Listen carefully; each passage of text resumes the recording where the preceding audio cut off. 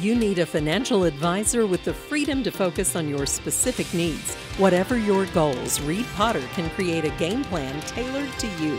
Call Reed at 432 0777 at Pikeville, Kentucky to learn more. As Halloween draws near, students at the University of Pikeville are gearing up for this year's Horror Film Festival.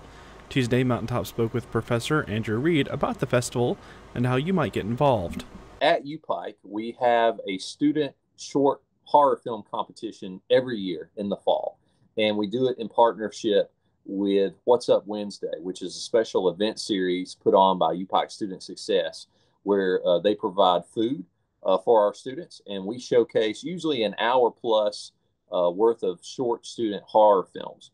These are all short films made by our UPike students. Some of them are made as part of a course that they might take with me.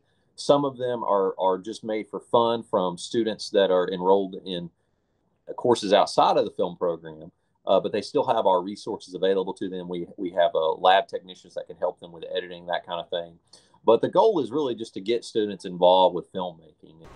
As students gear up for the festival, Reed mentions that those interested in helping students may have the opportunity by contacting the college. Anybody in the community is interested in acting in a student production, we would be more than happy to take their information and, and distribute that.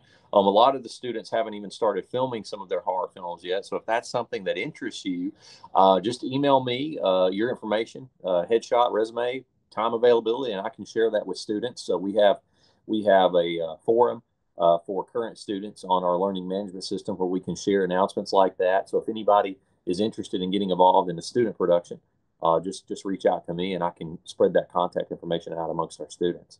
You can reach Reed at Andrew Reed at upike.edu. UPike's Horror Fest is on November 2nd. For Mountaintop News, I'm Joel Cordial.